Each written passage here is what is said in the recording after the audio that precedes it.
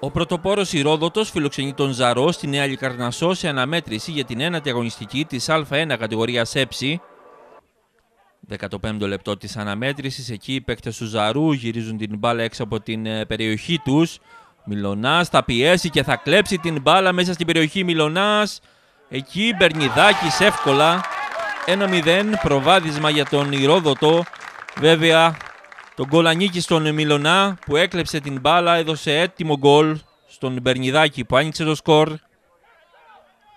20 λεπτό της αναμέτρησης, Φραγκουλάκης, ωραία μπαλιά.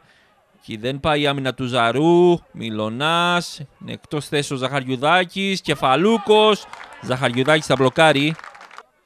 Δεύτερο ημίχρονο της αναμέτρησης, η μπάλα στον ε, Μπερνιδάκη, θα κάνει ωραία ενέργεια. Μπερνιδάκης μέσα στην περιοχή μπάλα. Από κοντά ο Μιλονά. Το 2-0. Άλλαξαν αυτή τη φορά οι ρόλοι. Ο Μπερνιδάκης έγινε ο δημιουργός και ο Μιλονά είναι αυτός που θα διπλασιάσει τα γκολ του Ηροδότου 2-0. 73ο λεπτό της αναμέτρησης. Ελέγχει απόλυτα το παιχνίδι ο Ηρόδοτος. Ο Μιλονά θα κάνει ωραία σέντρα. Μπερνιδάκης με κεφαλιά. 3-0. Ξανά πρωταγωνιστές, οι δυο τους, Μιλονάς και Μπερνιδάκης.